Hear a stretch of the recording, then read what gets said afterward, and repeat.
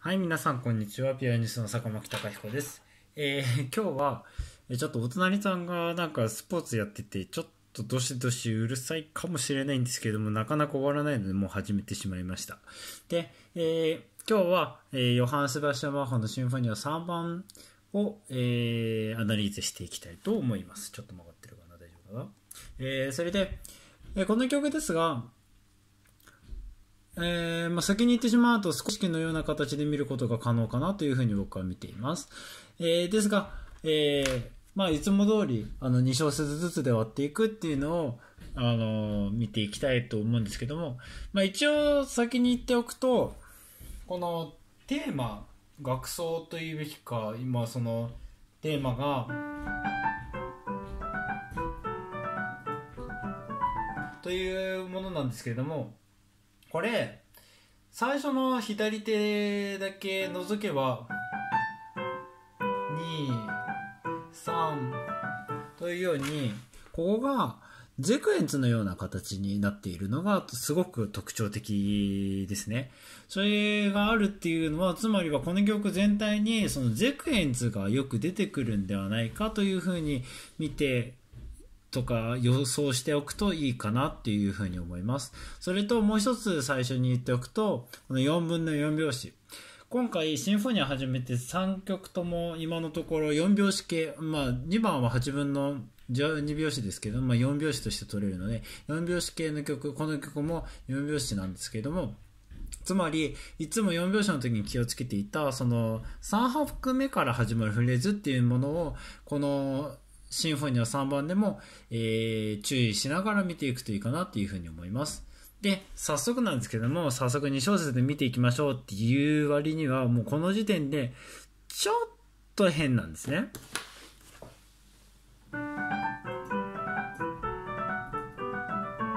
確かにここで一度で終わるんですけども、というようにして、ここから次のテーマが、えーカノンのようにしてやってきますね。ですので、まあ、カノンというか、まあ、フーガーのように対応して、おえー王将ですかね。えーこの、このテーマに対して対応しているかのように書かれているっていうところが特徴的で、で、そしてこれが3拍目から始まっている。ここからではなくって、ここから1拍目ではなくて3小節目の3拍目の裏から、えードレミソファーという風に始まるっていうのが面白いところです。っていうので、えーちょっと区別、えー区分すると、区分、えー区別していくと、1小節と2拍、あ、2小節と2拍という風に見ることができます。そして次が3小節目の3拍目から新しいリあテーマが始まって、どこまで行くかとかというと、あ、レバミラシドミここもドシラシドラシドレという風になってバスにという風になるのでこれも2.5小節。つまり3拍あ3小節目の3拍目から、えー5小節目の終わりまでを割ることができるかなという風に思います。そしてバスのテーマがファソラットという風に始まるので6小節目からまた見ていきましょう。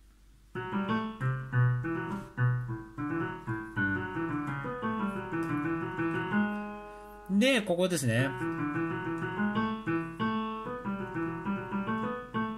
これ、ちょっとだけ、全体的に見ていくと、8小節目から、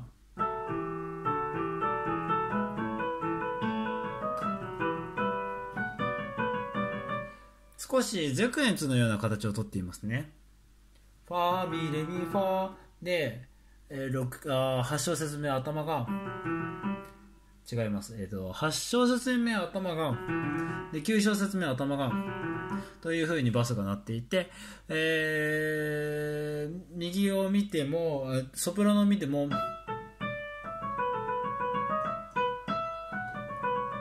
というように、少しは形は変わるんですけれども、あの、あるともそうですね。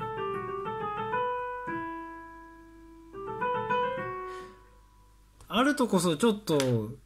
か、うん形は変わってるんですけど、でも、2度上に上がったという風な形でゼクエンツが続いているように、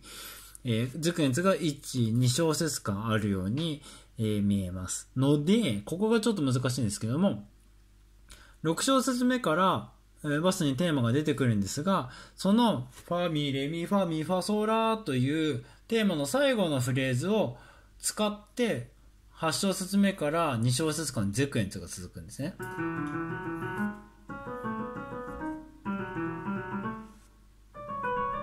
という風になるので、ここから僕は8小節目から2小節間ゼクエンツがあるという風に見てみます。ので、復習すると、えー最初の2小節と2拍、そして3小節目の3拍目から、え5小節目終わりまで、そして6小節目から7小節目終わりまでで、本当はそのテーマ、バスが続くんですけども、8小節目からゼクエンツが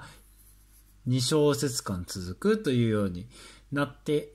いる形を僕はとっています。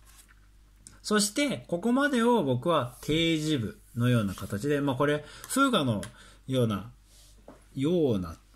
までいくとちょっと曖昧かもしれないんですけども、まあ完璧なフーガかと言われるとちょっと疑問もあるので、ま、フーガの形のちっちゃいバージョンみたいなものを取っているかなというふうに僕は感じています。なんでかっていうと、テーマが一人で出てこないっていうのが大きいですね。まあ他にもちょっといろいろありますけれども、えー、まあでもフーガのような形をとっているっていうのを意識して、そしてここから僕は第2部として見ています。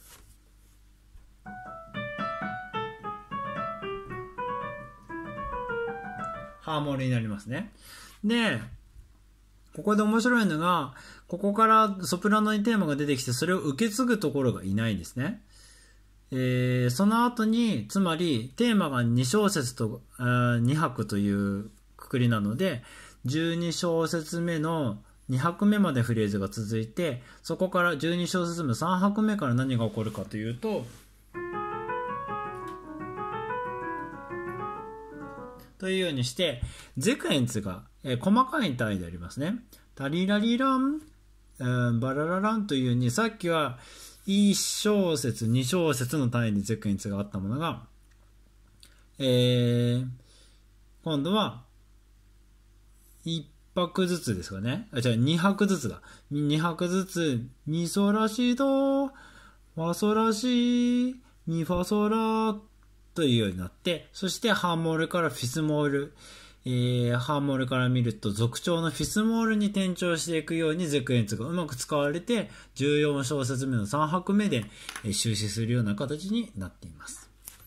で、ここらまでが、えー2.5小節間、そして2.5小節という風になって、14小節目の2拍目で 3, 3拍目で終了するという形になっています。で、まあ僕は一応ここ終わりなんですけども、始まりという風にも感じるので、僕はどちらかというと14小節の3拍目から次のフレーズが始まるという風に見ています。で、ファソラ動詞というテーマの断片がファソラ動詞、ファソラ動詞、ファソラレミというようにして、断片を使って少しストレッタのような形にして、そしてフィスモールから A モールへ流れていくような形になります。で、ファソラレミというふうにバスがなりますね。ここの15小節の終わりで。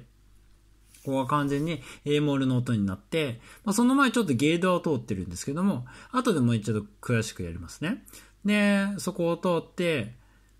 ここからもう一区分作れるかなというふうにちょっと思っていて、ただ、2番でもちょっと言いましたけど、ここら辺すごい展開的な場所なので、ここから、つまり14小節の3拍目からその先まで見ていってもいいです。まあ、一応、16小節目の頭で1回割れますよっていうことをここで言っておきます。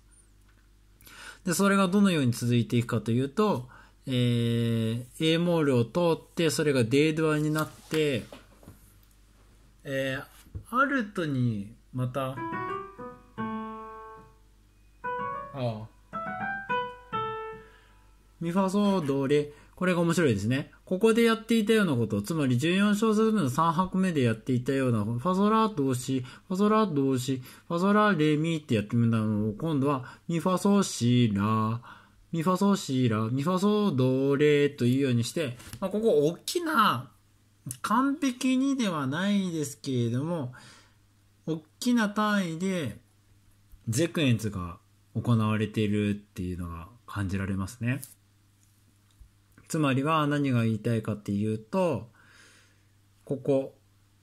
フィスモールから始まって、ファゾラ動詞、こうゲードですね。ファゾラ動詞、ファゾラ動詞だったのが、ミファソーシーラー、ミファソーシーラー、ミファソーシーラーという風に2度下がる形でゼクエンツになっている。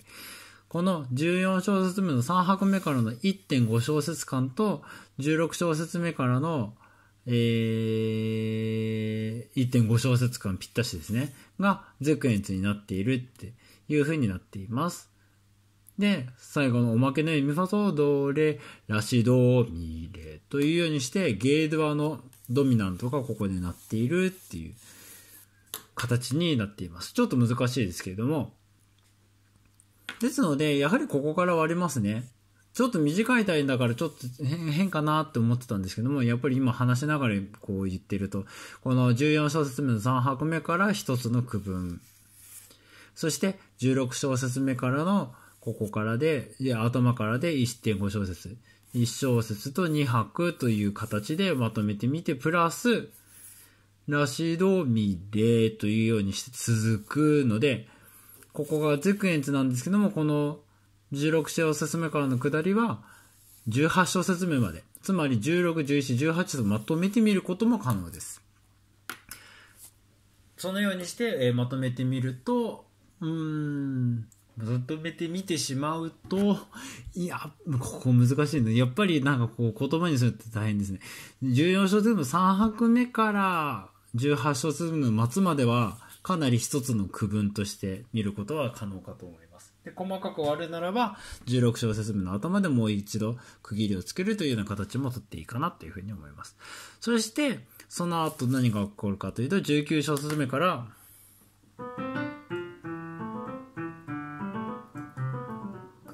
ゲードアで、えー、ここ、シドレファミというふうに、えー、テーマがはっきりと戻ってきます。それまでは断片があるストレットのように出てきていたので、それを終わらせて、ここでドミナントがあって、ゲードアにしっかりと入ってきますね。シドレファ、そう、シドレファミ、ラシドミレ、ソラシーレとシラソファミレとシラソラシラシド、同じ区分が最初の再現部のようにしてあります。で、ここで面白いこととしては、本来、最初、デードアで出てきてるので、ここがもし再現部という風に作るならば、ここはデードアで出てかないとおかしいんですけども、ここはゲードアで出てきているんですね。つまり、え市長から見る、市長デードアから見る家族長のゲードアからここ出てきているんですね。19章進め。なぜかというと、まあ、これは僕の推測なんですけども、最初を見ると、デードアからアードアに転調していますね。ファソラドシド。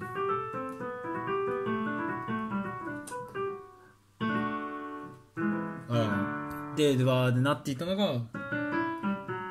アードワになる。つまり族長に転調していた。その転調をバッハは変えたくなかったんじゃないかっていうふうに僕は仮定して、つまりは、ここ家族長のゲードワから始まっているので、ゲードワからデードワって、まあ、5度の関係になるので、つまりは、ゲードアから見て族長ってデードアなので、店長の関係がその後変わんないんですね。この21小節目の3拍目を見ると、すごいわかりやすいんですけど、ファソラ動詞。ここで最初のデードアの形がアルトに出てきます。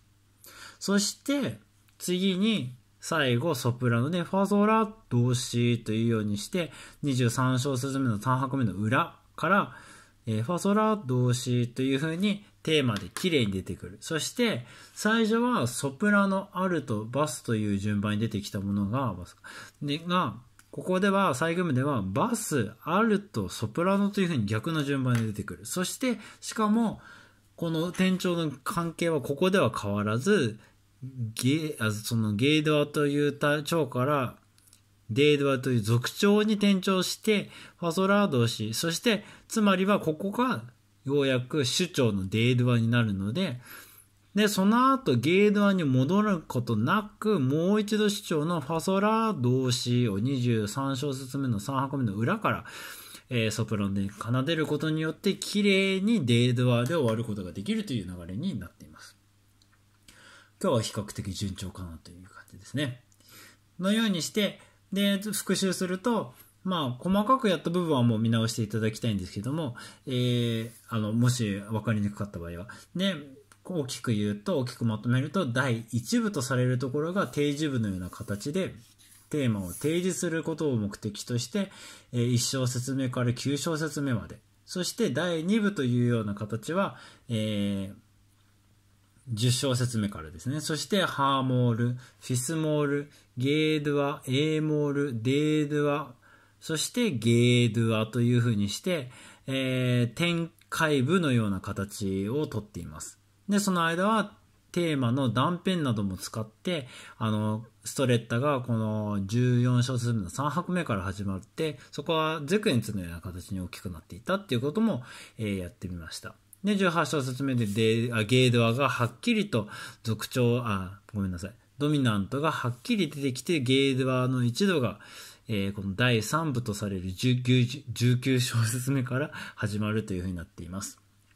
ので、そしてここから19小節目から第3部、再現部のような形をとって、で、ゲードアで始まるっていうところがポイントで、ゲードア、デードア、デードアという風にして主張、あ、テーマが出てきます。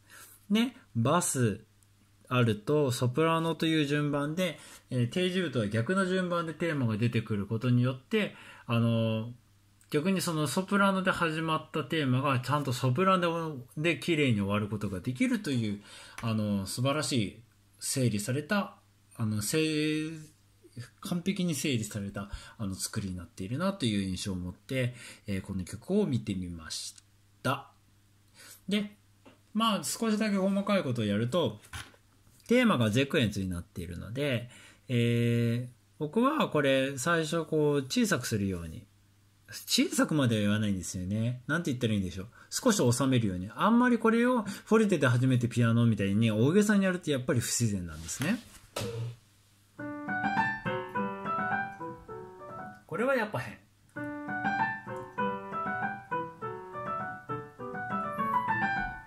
少しなんです。少しだけど、その音形に従って何かこう、その従って少し、ま強弱で言うと弱くなるなんですけども、あんまりやりすぎると不自然なので、その間は、つまりはどうやったら自然できるかっていうと、この音形をあの体でしっかりと感じる。そしてゼクエンツという意識を持って演奏するっていうのがすごく大事だと思います。そしてそこで少し収めてあげると、ここでもう一度膨らむことができて次でまたテーマがはっきりと入ってくるっていうちょっと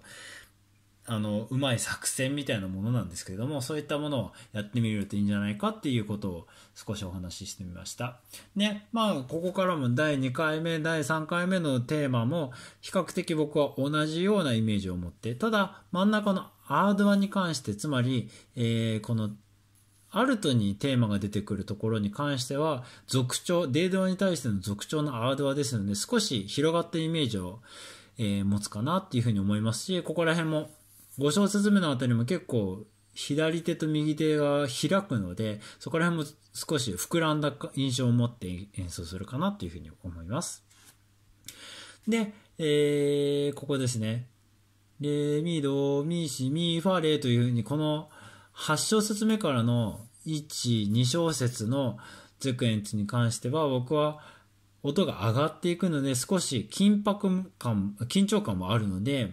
緊迫した雰囲気があるのでクレッシェンドのような形をとってハーモールに入っていきます。えー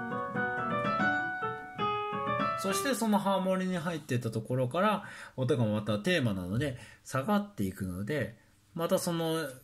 緊迫した状況を収めるかのように、なだめるかのようにして僕は先を作って、ダリラリーダリラリーダリラリラっていうこのテーマの後半はまた少し膨らむように音形に従って演奏するかなっていうふうに思います。で、まあ、この後のゼクエンツも少し下がっているのでということで、やはりこう音形に従って僕は強弱を自然とそれにつけていくっていうことをこの曲ではやりたいかなと思っていますが、まあ、いろんな解釈があるので、音が下がったから必ずデメエンドクレデクレーションとしなきゃいけないってわけではないので、逆のことももちろん可能です。で、僕は14小節目のこのフィスモールで終始するところ、3拍目でフィスモールで終始するところは、えー、収めるように、こう、柔らかくこう悲しい雰囲気で弾きますが、ここをかなり強く弾いて、あの、怒りのように、あの、劇場したように描くことももちろん可能です。で、僕はその後、ゲードアと A モールの間みたいな部分がここあるんですね。14小数の3拍目から。ああ、高い。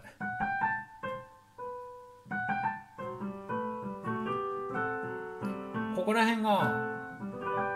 というようにも聞こえるし、でもなんか、やっぱり A モールとしても聞こえますね。というよりかは A モールに近い音が常に感じられるかな。ディスが出てこないのにもかかわらず。そして A モールになってここで最高音が出てくるとかいうポイントも少し抑えながら演奏できるといいかなと思います。僕はこの前小さくしてるので、あまりここで大きくはならないんですけれども、ただ、その今言った、ここの14小節の3拍目からの下りは、ゲードアと A モールをさまよっているというか、そのどっちに行くんだろうみたいな雰囲気がかなりあるので、そこら辺を感じながら、そして、この A モールが出てきて、15小節目の終わりで最高音が右手に出てくるっていうところもちゃんと感じながら、ここにアクセントがつくような弾き方は絶対、あの、受け入れたくはないんですけども、でも何かを感じながらこういう性を演奏できるとすごくいいかなというふうに思います。強くしろという意味ではないです。で、その後、また、ミファソーシーラー、ミファソーシーラーっていうのが出てくるんですよね。ここはデードアですね。あ